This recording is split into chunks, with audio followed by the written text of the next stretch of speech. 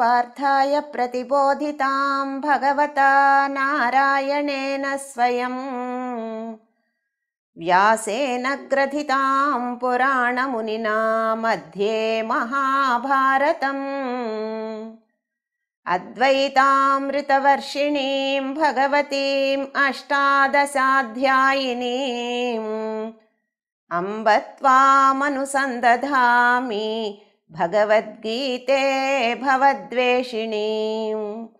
नमोऽस्तु ते व्यासविशालबुद्धे फुल्लारविन्दायतपत्रनेत्रा येन त्वया भारततैलपूर्णः प्रज्वालितो ज्ञानमयप्रदीपः। मूकं करोति वाचालं पङ्गुं लङ्घयते गिरिं యత్కృపాతమహం వందే పరమానందమాధవం. జై శ్రీరామ్ అండి. ఇప్పుడు మనం భగవద్గీత రెండవ అధ్యాయం సాంఖ్యయోగంలోని యాభై తొమ్మిదవ శ్లోకాన్ని నేర్చుకుందాం. ఇప్పుడు ఈ శ్లోకాన్ని చిన్న చిన్న పదాలుగా చేసి నేను రెండుసార్లు చెప్తానండి. మొదటిసారి మీరు విని రెండవసారి నాతో పాటు చెప్పండి. విషయా विषया विनिवर्तन्ते विनिवर्तन्ते निराहारस्य निराहारस्य देहिनः देहिनः। रसवर्जं रसवर्जं रसोऽप्यस्या रसोऽप्यस्या పరం దృష్ట్వా పరం దృష్ట్వా నివర్తతే నివర్తతే. ఇక్కడ అపి అస్య అప్యస్య. ఇది ఆ అవుతుందండి విడదీసినప్పుడు. అపి అస్య అప్యస్య. ఇప్పుడు మళ్ళీ. విషయా విషయా వినివర్తంతే. विनिवर्तन्ते।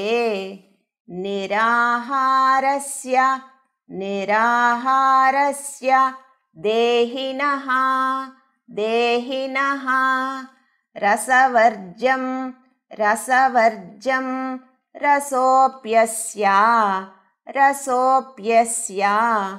परं दृष्ट्वा परं दृष्ट्वा निवर्तते निवर्त వర్తతే ఇప్పుడు ఈ శ్లోకాన్ని ఒక్కొక్క లైను నేను రెండుసార్లు చెప్తానండి. అది కూడా మొదటిసారి మీరు విని రెండవసారి నాతో పాటు చెప్పండి.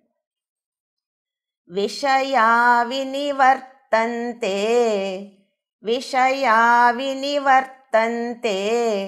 నిరాహారస్య దేహిన. నిరాహారస్య దేహిన.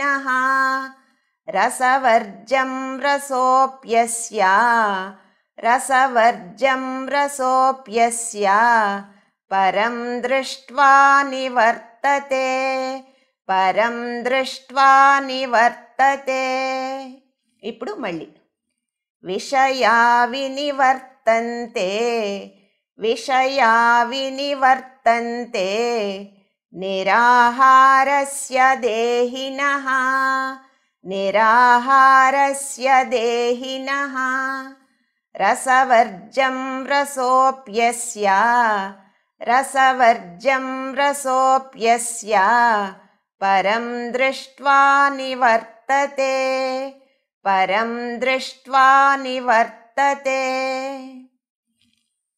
ఇప్పుడు ఈ శ్లోకాన్ని నేను ఇరవై ఒక్కసార్లు చెప్తానండి. మీరు కూడా నాతో పాటు చెప్పండి. विषया विनिवर्तन्ते निराहारस्य देहिनः रसवर्जं रसोऽप्यस्य परं दृष्ट्वा निवर्तते। विषया विनिवर्तन्ते निराहारस्य देहिनः रसवर्जं रसोऽप्यस्य परं दृष्ट्वा निवर्तते। विषया विनिवर्तन्ते निराहारस्य देहिनः। रसवर्जं रसोऽप्यस्य। परं दृष्ट्वा निवर्तते।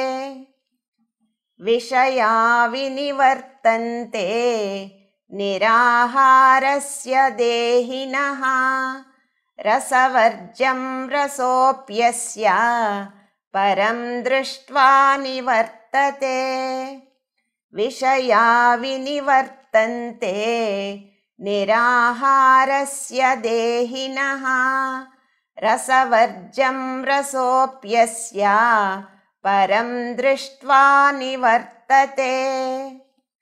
विषया विनिवर्तन्ते निराहारस्य देहिनः रसवर्जं रसोऽप्यस्य परं दृष्ट्वा निवर्तते। विषया विनिवर्तन्ते निराहारस्य देहिनः रसवर्जं रसोऽप्यस्य परं दृष्ट्वा निवर्तते विषया विनिवर्तन्ते निराहारस्य देहिनः। रसवर्जं रसोऽप्यस्य परं दृष्ट्वा निवर्तते। विषया विनिवर्तन्ते निराहारस्य देहिनः। रसवर्जं रसोऽप्यस्य परं दृष्ट्वा निवर्तते। विषया विनिवर्तन्ते निराहारस्य देहिनः। रसवर्जं रसोऽप्यस्य परं दृष्ट्वा निवर्तते।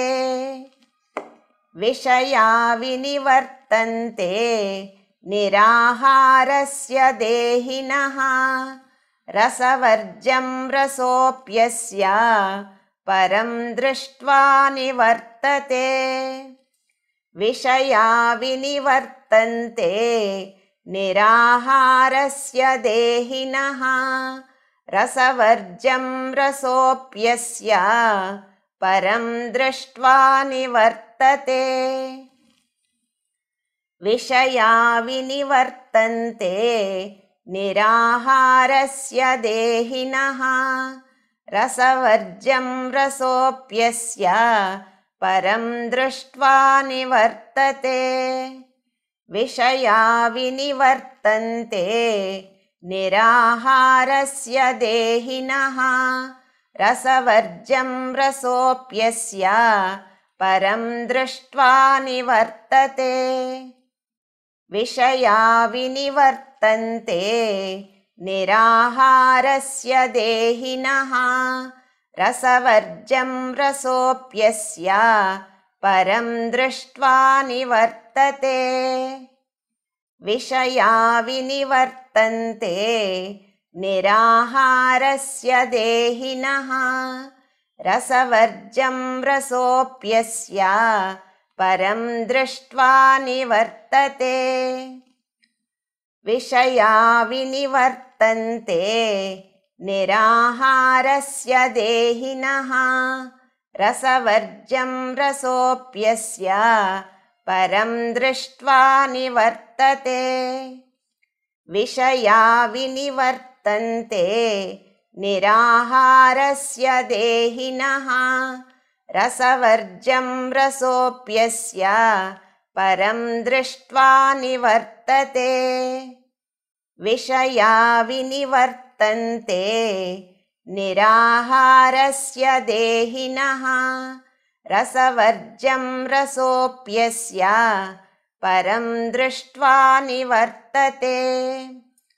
विषया विनिवर्तन्ते निराहारस्य देहिनः रसवर्जं रसोऽप्यस्य परं दृष्ट्वा निवर्तते।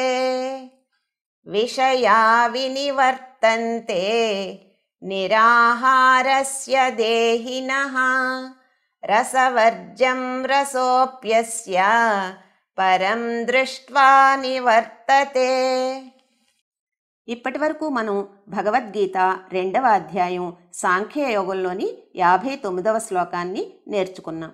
తిరిగి అరవైవ శ్లోకంతో మళ్ళీ కలుద్దాం. ఈ భగవద్గీత తెలుగు ఛానల్ని ఇప్పటి వరకు సబ్స్క్రైబ్ చేసుకోని వారు సబ్స్క్రైబ్ చేసుకోండి. ఈ వీడియో మీకు నచ్చితే లైక్ చేయండి షేర్ చేయండి కామెంట్ చేయండి. జై శ్రీరామ్.